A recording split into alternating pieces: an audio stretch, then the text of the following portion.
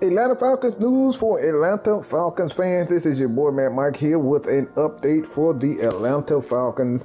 This is something interesting right off the bat. We're going to get into some Falcon news first and foremost. This is what Kirk Cousins had to say about defenses that are going against the Atlanta Falcons. He said that he feels like so far this year that the defenses are doing a good job, maybe better than in most years at keeping the top on the def- on the field.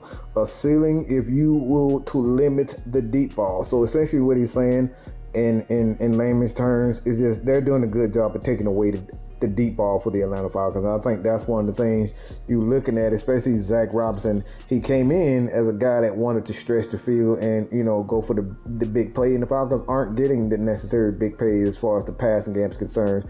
Um, last what game or two. So look at this Atlanta Falcon team. I think they'll be fine, but this is what Kirk Cousins have to say, as well as some injury uh, list. Full participation with Matthew Bergeron. All right, Matthew Bergeron. Um, limited practice with Judon and non-related, so pretty much just rest.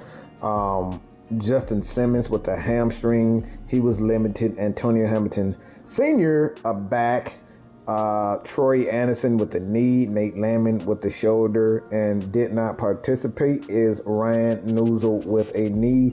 But that is the uh, the Atlanta Falcons news and something else. This is a trade rumor. Okay, so rumors around the league, uh, around social media as well, is that the Pro Bowl pass rusher for the Tennessee Titans, Harold Landry is available via trade uh, and is highly sought after by a couple of contenders. And the Atlanta Falcons, the Lions, the 49ers, Commanders have um, allegedly uh, been contacted by several front office guys. So um, Harold Landry and Atlanta Falcons, we will see uh, in 2000 last 17 games, excuse me, he has recorded 12 and a half sacks. So um, if the Atlanta Falcons decide to go after him, um, I would not, to be honest, I would not be disappointed because at this point, I think all Atlanta Falcons fans think, for the most part, that we need more help as far as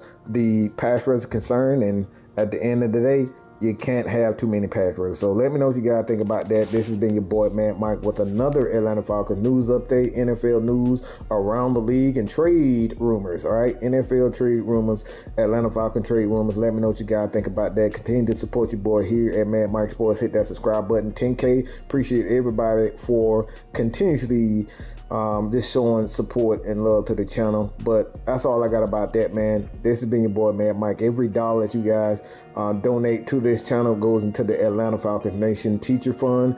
And, and like I said, you guys know what that about. Hit that subscribe button, donate a dollar, two dollar, three dollar, whatever you can to help our future students. That's all I got to say about that. This has been your boy, man, Mike, man. I'm out of here. Peace.